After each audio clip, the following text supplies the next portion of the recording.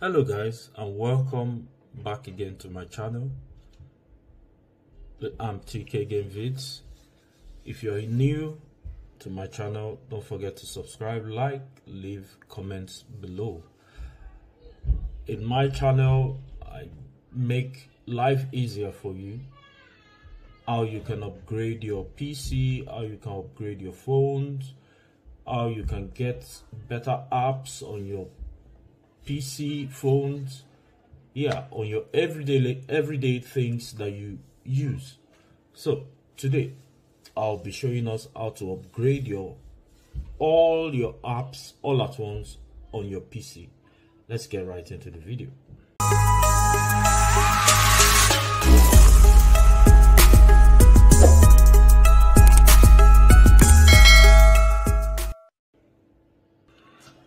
The first thing you need to do go is you can do this on the Windows 11 or Windows 10. So you go right here in the search mode, you type, try and use the caps letter.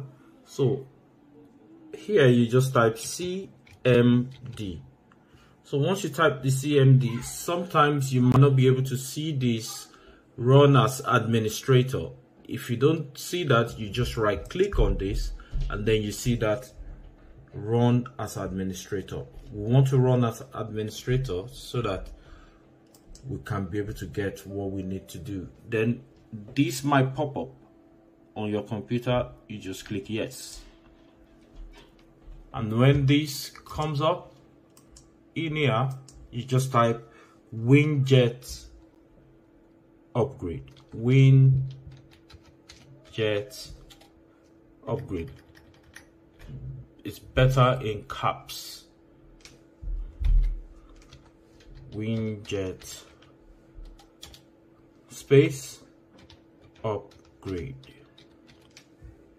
Enter. So this comes up. As you can see.